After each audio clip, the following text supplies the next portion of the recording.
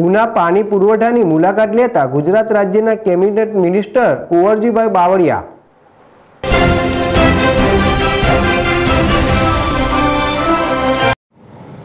ઉના પાણી પુરવઠાની મુલાકાત લેતા કુંવરજીભાઈ બાબરિયા હાલ ચાલી રહેલ કોરોના મહામારી સાથે ઉનાળાના ધમધોકતા તાપમાનમાં સતત વધારો થતા લોકો માટે પીવાના પાણીની સમસ્યા માટે આજે રૂબરૂ મુલાકાત લેતા અધિકારીઓ ચોંકી ઉઠ્યા હતા અને સ્થાનિક આગેવાનો અને અધિકારીઓ સાથે આવનારા દિવસોમાં દૂરના દૂરના ગામડે સુધી પાણી પહોંચાડવા માટે આયોજન સાથે પુરવઠા વિભાગની તમામ શાખાઓ વિશે જાણકારી મેળવી. ત્યારબાદ જ્યાંથી પાણી પુરવઠામાં પાણી પહોંચે છે, એ રાવલ સિંચાઈ યોજના ડેમ ખાતે સ્થળ પર નિરીક્ષણ કરી અધિકારીને ઉના તાલુકાના છેવાડાના તમામ ગામ સુધી પીવાનું પાણી પહોંચે અને લોકોની પીવાની સમસ્યાઓ હલ થાય એ ઉદ્દેશથી